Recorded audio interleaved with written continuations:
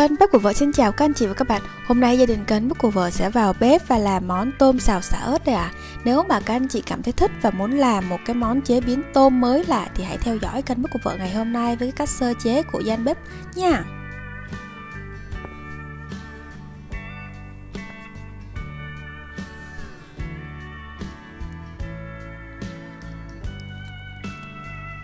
Và đây là tất cả nguyên liệu gồm có. Đầu tiên mình sử dụng ở đây một ký tôm nhé Tôm này thì đã được cắt đầu cắt đuôi hết rồi nha. Tiếp theo đó là bột cà ri, tỏi, ớt, xạ và hành lá. Đã được rửa sạch hết rồi. À, Đầu tiên thì xạ thì mình sẽ đập dập và mình băm nhỏ.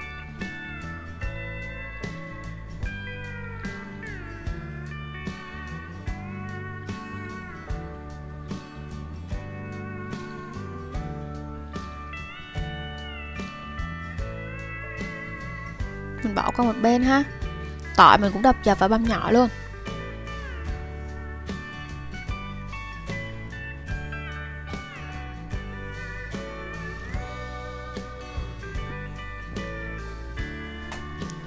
Ớt đây là ớt sừng nha. Ớt sừng không cay nên là mình không có lo về cái vấn đề con nít không ăn được. Mình sẽ đập nhỏ ra. Mình sẽ băm nhỏ ra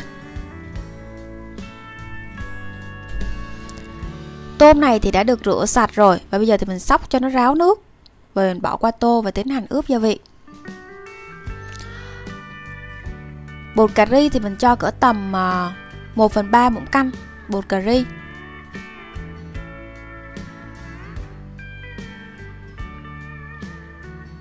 Tiếp theo đó là hạt nêm, mình cho 1 phần 3 muỗng canh hạt nêm nhé.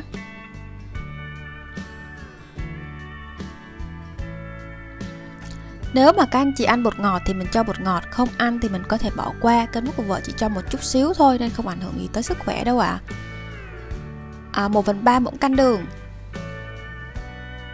Và 1 phần 3 muỗng canh nước mắm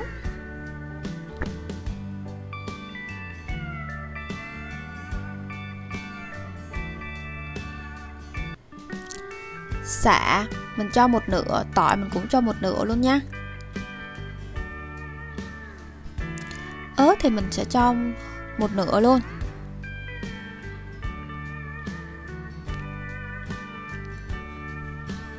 Đảo đều lên cho cái phần gia vị này, thấm vô cái tôm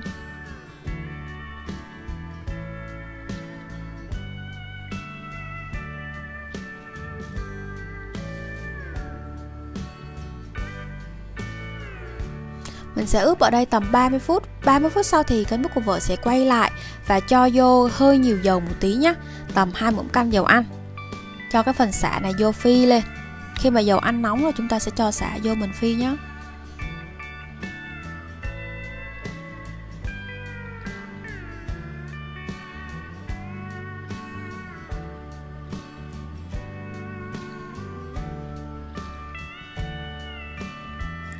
khi mà xả đã bắt đầu thơm rồi thì chúng ta sẽ cho phần ớt và tỏi vô phi luôn.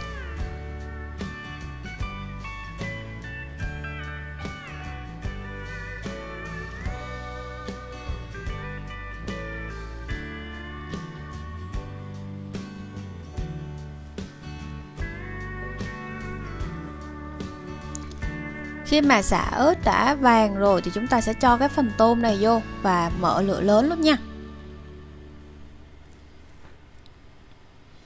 Mình tiến hành mình xào cho nó xanh lại.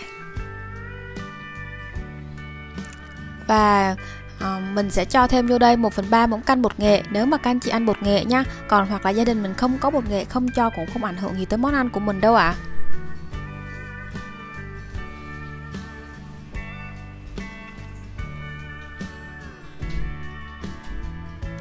xào cho xanh lại ha. Và mình sẽ cho vô đây một tí nước nóng. Nếu mà có nước nóng thì càng tốt nhé và mình chán cái phần à, tô gia vị mình ướp.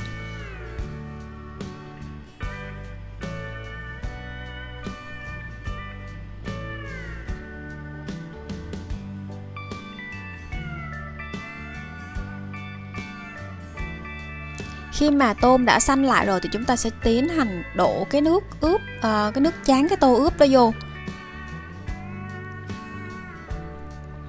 Và mình xào. Mình xào cho tới khi nào mà rút hết cái nước và tôm của chúng ta nó xanh chắc lại và chín đều thì chúng ta sẽ cho cái phần à, hành lá vô. Tới đây là sắp xong cái món à, tôm xào xả ớt của chúng ta rồi đó và đây là thành phẩm của kênh bếp của vợ và bếp từ nãy giờ các anh chị có thấy hấp dẫn và ngon miệng không ạ à? nếu thấy ngon thì hãy cho kênh bếp của vợ một like và một đăng ký ủng hộ tinh thần kênh bếp của vợ nhé hoặc là có cái cách sơ chế và chế biến món nào ngon hơn thì hãy chia sẻ cho kênh bếp của vợ để một bà nội trợ tại gia có thể hoàn chỉnh mình được không ạ à? rồi kênh bếp của vợ xin chào cả nhà, hẹn cả nhà vào những video tiếp theo nha